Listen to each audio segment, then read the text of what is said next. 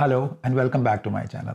In today's episode, I will explain how to properly use monobenzone, what are the precautions, and what are the short-term and long-term side effects. This is a must-see video for anyone about to take on the journey of depigmentation and the information given here is crucial for the success of your treatment.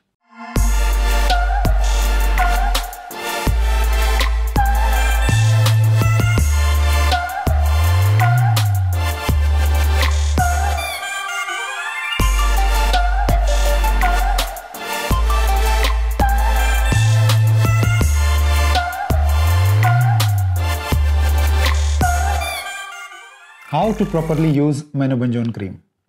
Once you get the monobenzone cream in your hands, you need to understand how to properly use it to get the maximum benefit out of it. The general rule is to apply a thin layer of cream on the pigmented areas where you want to lose the pigment and rub it for a minute or so till it is absorbed into your skin. Best practice is to take a hot shower before application so your skin pores are open to better absorb the cream. Ideally, you should do it twice a day. Once in the morning after shower and once in the night before sleeping. The one important thing that you need to understand is that it is not essential to apply at every place where you want to lose the pigment. When I explain to you how monobenzone works, you might remember that it works systematically through your immune system and you don't have to actually apply it everywhere to get the results on your entire body. For example, you can just apply on your hands, legs and stomach and it is enough to depig your entire body. There are certain areas such as armpits, genitals and other areas with thin skin where you should not put monobenzone to avoid unnecessary burning and skin rashes. I never applied on my back and armpits and private areas and it still worked fine. I applied the most to my face and it was the last to lose the pigment. So it is unpredictable and not possible to control how it will depig your skin and also in what order. Warning and precautions. The very first warning is that it is not a mild cosmetic bleach and it is indeed a very powerful depigmenting agent and you should not use it for any purpose other than to remove the remaining pigment from the skin of a person with extensive vitiligo. As I explained earlier, it needs the autoimmune aspect of vitiligo to smoothly do its job. And if you do not have autoimmune vitiligo and you try to use this product, it will induce vitiligo in your skin first. And if you don't have the autoimmunity working in your favor, you will be left with a disfiguring skin condition for a very long time in your life. So don't even try if you do not have vitiligo. Second warning. Keep it as far as possible from your kids, spouse, and siblings. People with normal, healthy skin should never get exposed to this cream. Irregular exposure to monobenzone can induce vitiligo in other people. Your kids and siblings are especially prone because they are genetically susceptible to having vitiligo, and you will never forgive yourself if they get it because of your negligence and carelessness. Try to apply monobenzone on the hidden parts of your body or keep them covered. For example, if you if you apply it on your arms, wear a long sleeve shirt if you apply on your legs, wear jeans or trousers. If you apply on your stomach, don't wear tank tops or saris. Just wear a normal shirt. Wash the clothes, towels and bed sheet which comes in regular contact with mono in a separate wash cycle of your washing machine. If you still have pigment left in your hands, you can keep it for like 10-15 minutes and then wash it off.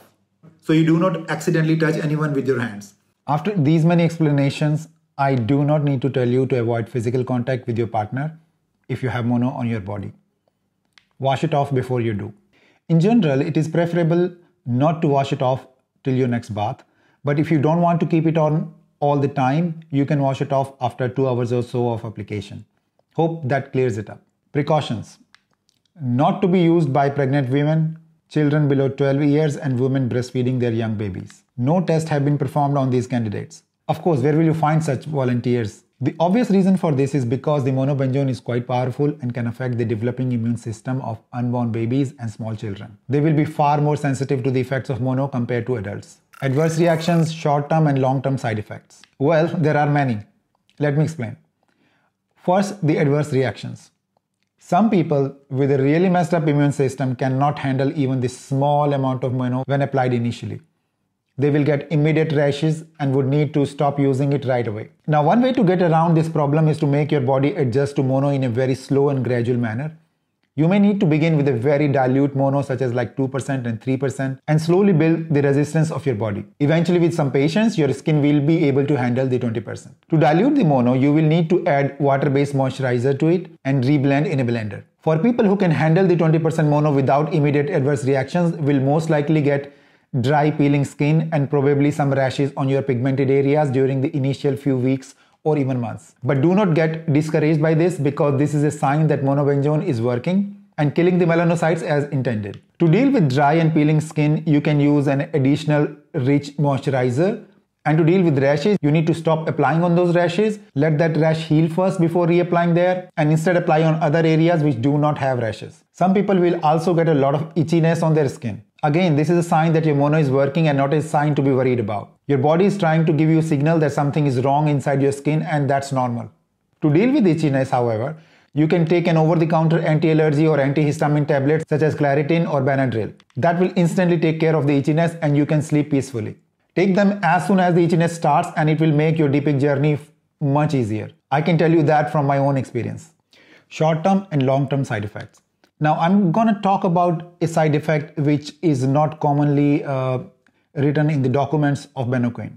Some of your hair may turn gray during treatment. Now, this is mostly temporary and color comes back once you stop the treatment after achieving full depigmentation. But for some people, the gray hair could remain permanent and they would need to color them regularly until they are of an age where they can embrace their gray hair. I did my depigmentation at the age of 37 and some of my hair on my body uh, turned gray, but uh, I got the color back a bit later. The most challenging would be if you lose your eyelashes or eyebrows color and they become gray, then you will have to dye them on a regular basis, which is a pain. I'm now 50, and even though most of my body hair is still black, I have to still regularly dye my hair, such as on my head, my beard, and sometimes eyebrows where half of my hair are gray. I guess within a few years, I will embrace my gray hair and I will not have to bother with it anymore. But I'm not ready to do it just yet. If you are in your 20s, the chances of gray hair are less but not impossible, and you must understand this risk before starting deeping. One of the long term side effects is that you will become ultra sensitive to sunlight. It's because you will not have any sun protection left after losing the pigment on your skin. You will have to embrace sunblock. UV clothing, and umbrellas if you intend to spend any extended amount of time out in the sun. It seems impossible at first, but eventually you will get used to it and learn to live with it. For example, if I have to go out on a beach, I avoid going out at the noon and afternoon time and instead go there at sunset when the views are great, but the sunlight is not a threat. Almost all smartphone and smartwatches will tell you current UV index. And you should know that UV index of 2 and lower is safe to go out in sun without much protection. One thing that you should know is that most of the automobile window glasses and window glazings cuts off the harmful rays which tans your skin. So if you feel like taking a sun bath, do it behind a glass glazing. Not for too long though, and you will be much less at risk for the sunburn and can avoid repig spots. If you're a nighttime party person, you would absolutely love your new unblemished skin tone. Another long-term side effect is the repig spots which could pop up either because of sun exposure or hormonal reasons.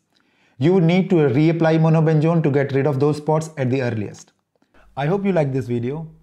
Don't forget to check out the next video in the series where I will show you how to make your own monobenzone if you fail to get it from anywhere or find it too expensive.